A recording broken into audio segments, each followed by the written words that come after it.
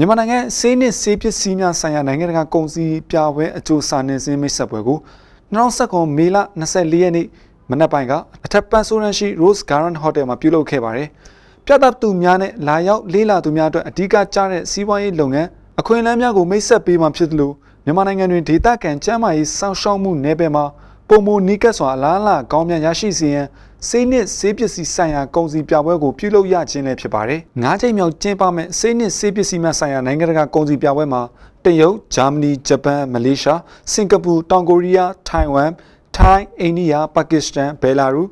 မြန်မာကမ်ဘောဒီးယားဗီယက်နမ်ဘင်္ဂလားဒေ့ရှ်စတဲ့နိုင်ငံပေါင်း15နိုင်ငံမှထုတ်လုပ်သူကိုယ်စားလှယ်များကလာရောက်ပြသသွားမှာဖြစ်ပြီးဆေးနစ်ဆေးဝါးဆိုင်ရာကုန်ပစ္စည်းများ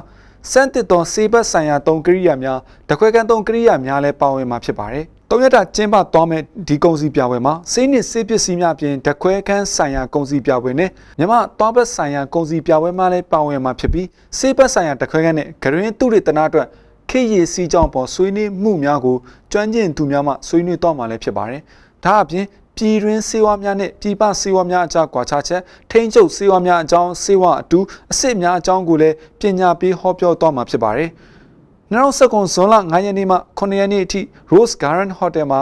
၅ချိန်မြောက်ကျင်းပသွားမြဲမြန်မာ Farmat Expo 2017တွင်ပုဂ္ဂလိကစေယုံများ၏ကျန်းမာရေးဆောင်ရှောက်မှုများအကြောင်းပါမောက္ခဆရာဝန်ကြီးများ၏စေပညာဆိုင်ရာဟောပြောပွဲများလည်းပါဝင်မှာဖြစ်ပါတယ်